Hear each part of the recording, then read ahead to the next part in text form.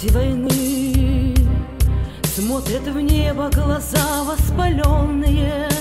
Дети войны В сердце маленьком горе бездонное. В сердце словно отчаянный гром Ленинградский.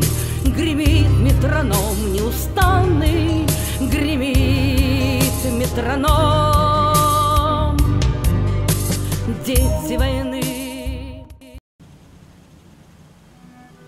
Когда началась война, мне было семь с половиной лет. Начало войны я встретила в деревне Городок, на границе с Ельнинским районом. Шли строем наши солдаты по проселочной дороге. Юные, изможденные от жары и безысходности, держали путь в сторону Ельни и очень спешили. Вслед за ними появились немецкие фашисты на мотоциклах. Такой треск, шум, иностранная речь. Мы, дети, в то время даже не знали о велосипедах, а тут мотоциклы. Все жители были напуганы.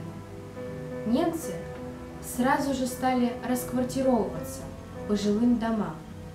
Стали рыть окопы, противотанковые рвы. К работе привлекли и деревенских жителей, подростков и женщин. Там и погиб мой старший брат, 15-летний Шурик, разряжая снаряд. Куски мяса, что остались от него, захоронили односельчане в тайне от родителей. В моем доме был круглый двор. Там немцы ставили своих лошадей. Чуть позже появились финны, вредные и очень жестокие. Немцы боялись русских солдат и местного населения. Даже туалеты устраивали на открытом месте, прямо возле дома. Нас они не стеснялись, мы были для них как скот. Около школы в березовой роще был привал. Бойцы побросали все лишнее и тронулись дальше, а мы, деревенские ребятишки, пошли посмотреть, что там. Мне запомнилось, как я принесла домой большую головку сыра, который на вкус не понравился, но запомнилось как память о тех солдатах, которые его бросили. Когда закончилось движение солдат, по этой же дороге, только уже со стороны Ельни, потянулись беженцы, девушки, женщины с детьми.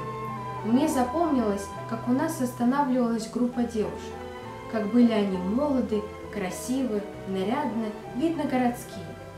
На всю жизнь я запомнила девушку, которая мне подарила бусы, такие же голубые, как и ее глаза. Эти бусы я сберегла, сберегла как память о войне. Во время оккупации были в деревне бойцы Красной Армии. Пятеро ребят тайком от немцев жили в ГУМе, плели корзины, затем свои изделия меняли на продукты. Даже в таких условиях они не стали попрошайничать.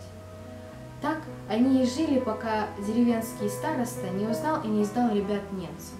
Их расстреляли прямо за деревней во. Несмотря на прошедшие годы, я не могу без слез писать эти строки.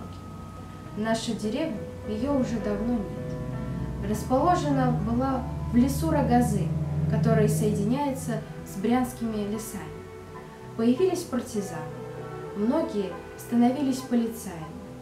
Полицаи набирали мужчин из местного населения, принудительно вызывая по нескольку раз в деревню Коново, где расположился немецкий штаб. Мой отец тоже не избежал этой участи. Вопрос был один. Почему не идешь в полицай? Тогда, тогда отец брал с собой меня и показывал немцам. Немцы нас отпустили, и отец не пошел в полицай.